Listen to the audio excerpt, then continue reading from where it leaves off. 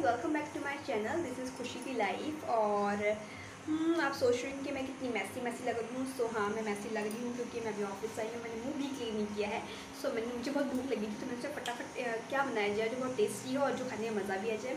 तो मैं बनाने जा रही हूँ कड़ी गाइस जो कि बहुत ही टेस्टी होगी और बहुत ही ईजी वे में बन जाएगी। सो लेट्स सी कि हम कैसे बनाते हैं कड़ी बहुत ही ईजी वे में। गाइस यहाँ हमने कढ़ाई में ऑयल गरम करने के रखा है पकौड़ों के लिए। सो यहाँ हमारा ऑयल अभी गरम हो रहा है। यहाँ हमने एक बाउल में बेसन ले लिया है और हमने इसमें अदरक लहसुन का पेस्ट ऐड कर दिया है। आप चाहे तो चॉप करके भी ऐड कर सकते हैं।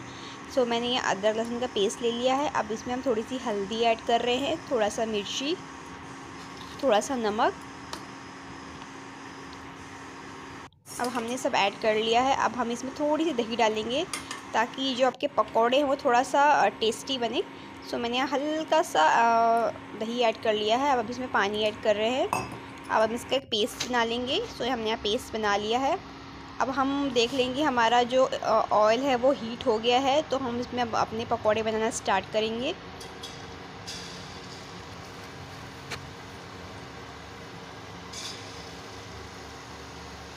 गाइस, हमने यहाँ पे बाउल में ले ली है लस्सी। आप चाहे तो दही भी ले सकते हैं, बट आप लस्सी लेंगे तो उसकी जो कड़ी है वो काफ़ी टेस्टी बनेगी। तो आप जब भी कड़ी बनाएँ तो मोस्टली ट्राई करें कि आप लस्सी से ही बनाएँ, क्योंकि इसका टेस्ट काफ़ी अच्छा आता है।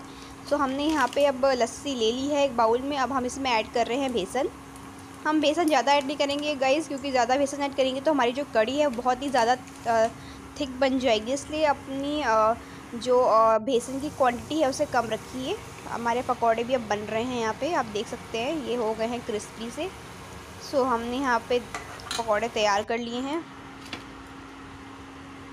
अब गाइस हम अपने घोल में थोड़ा सा टर्मरिक पाउडर ऐड करेंगे थोड़ा सा सॉल्ट ऐड करेंगे थोड़ा सा इसमें ऐड करेंगे। अब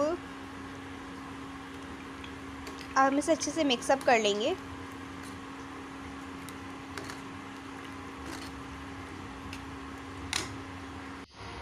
अब गाइस जिसमें हमने पकौड़े बनाए थे, उसी कढ़ाई में हम बना लेंगे अब इसका तड़का। तो अब मैंने यहाँ पे दो लाल मिर्च डाल दी है और थोड़ा सा मेथी के दाने डाले हैं इसमें मैंने, जो कि कड़ी में यूजली डलते ही हैं, मेथी के दाने। उसके बिना तो उसका टेस्ट आता नहीं है। अगर आपके पास कड़ी पत्ते हैं तो आप कड़ी पत्ता भी यूज़ कर सकते हैं बट मेरे पास अभी अवेलेबल नहीं है तो मैं यूज़ नहीं कर रही हूँ, क्योंकि उससे भी कड़ी का टेस्ट काफ़ी ज़्यादा अच्छा आता है। यहाँ मैंने अदरक लहसुन का पेस्ट डाल दिया है।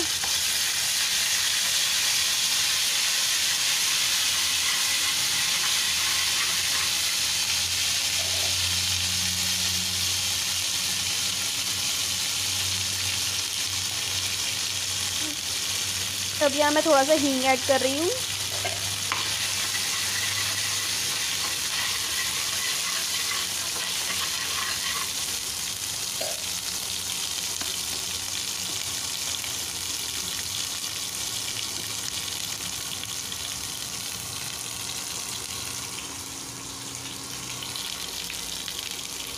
अब गाइस हम इसमें तैयार घोल डाल देंगे।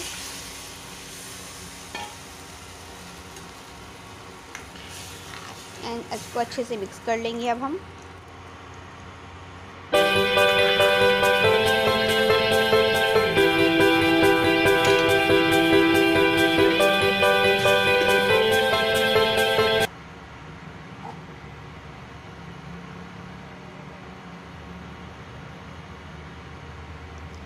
अब राइस में हम हल्दी ऐड करेंगे।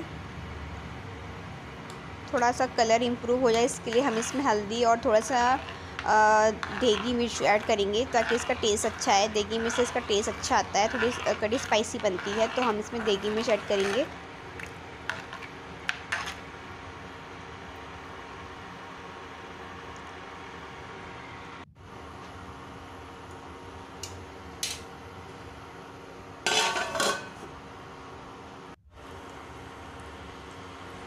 बाद में गए इसमें पकौड़े ऐड कर लेंगे, इसको दो तीन उबाल आने के बाद। सो हमने यहाँ पकौड़े ऐड कर लिए हैं। अब इसको थोड़ा सा उबाल आने दीजिए अच्छे से ताकि हमारी कड़ी और टेस्टी बने, क्योंकि आप कड़ी में जितना भी उबाल, जितना ज़्यादा उबाल लगाएँगे, उतनी ज़्यादा ही कड़ी टेस्टी बनेगी। तो यहाँ हमारी कड़ी अब रेडी हो चुकी है खाने के लिए। सो आप अब इसे खा सकते हैं। अब इसे चावल के साथ सर्व कर सकते हैं या रोटी के साथ सर्व कर सकते हैं। सो so गाइज़ आपको मेरी रेसिपी अच्छी लगी हो तो मेरे चैनल को लाइक एंड सब्सक्राइब ज़रूर कीजिए। और थोड़ा सा व्यू टाइम भी बढ़ाइए ताकि मेरे जो वीडियोस हैं, उन्हें अच्छा रिस्पांस मिले। Thank you guys